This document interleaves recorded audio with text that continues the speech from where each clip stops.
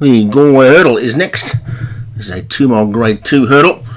Uh, top of the Laureate Shuffler for Matt Cooper, Baltic Sunrise for Graham Clutterbuck, Building Bridges, Joshua Southern, First Battle, David Hooley, Forgotten Next, Martin Leadham, Quintrell Downs, Darren Thompson, State Man, David Hooley, Volcanic Impact, Leon Van Rensburg, El Centro Artist, Vinnie Gerard, Gem Thief for Craig Beckwith, Istikana Drum for Derek Hinton, and it's a start for Craig Beckwith. So, yeah, then they're off and racing, 12 of them again this time.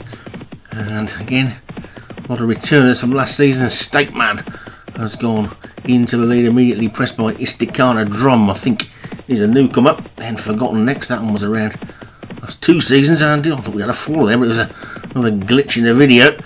And it's, it's it's, well, let's try that again. Istikana Drum in the lead. From Forgotten Next in second. Baltic Sunrise is in third. Building Bridges is in fourth. And State Man Oriate Shuffler is also to the fore. Looking to the back, Volcanic Impact is just the early back marker as they take the second of the 11. The leader was a little ponderous, but leads by two.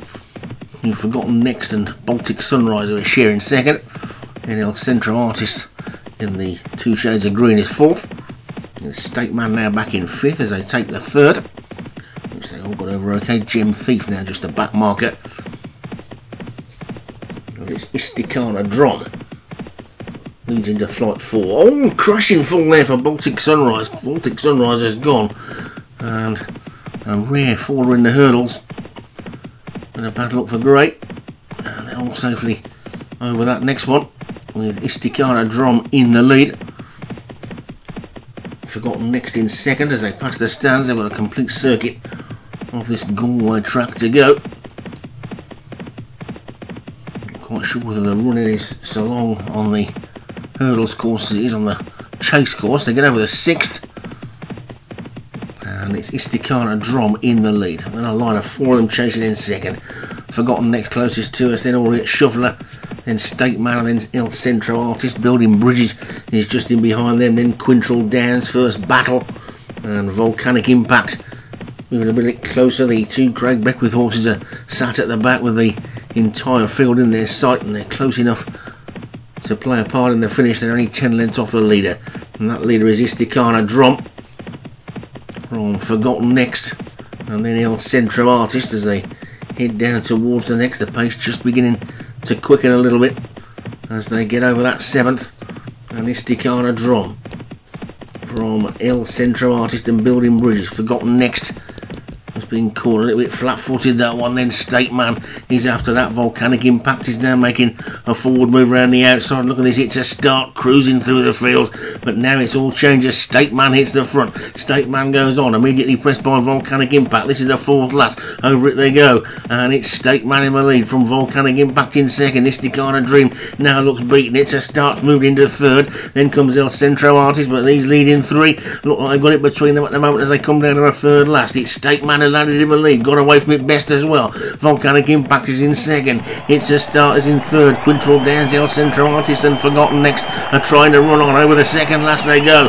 And now it's Volcanic Impact who comes to challenge for the lead. There's one still to take, Volcanic Impact, a state man together. From It's a Start, over the final flight they go, they land together. There's nothing to choose between the two of them, they're absolutely locked together. Half a furlong to go, you can't split them at all at the moment. This is going to be mighty close as they race up towards the line. It's just State Man who pushes ahead up front of the line and Stokeman takes it. Volcanic Impact was second.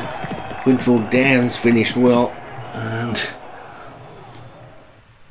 took my half the places because I was too busy trying to see who was going to win and Stateman just had that little bit of a spurt at the end to get up and take it. So Stateman the winner for David Hooley. Volcanic Impact for Leon Van Rensburg was second. Quintrell Downs for Darren Thompson third.